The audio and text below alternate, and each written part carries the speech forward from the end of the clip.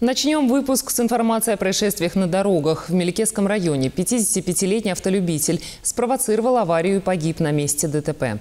Подробности нам по телефону рассказали сотрудники госавтоинспекции.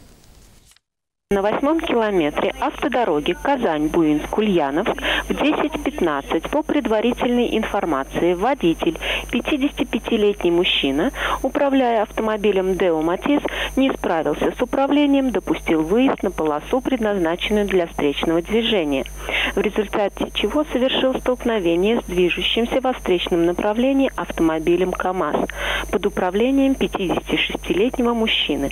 В результате дорожно-транспортного происшествия водитель автомобиля Део Матис от полученных травм скончался на месте ДТП.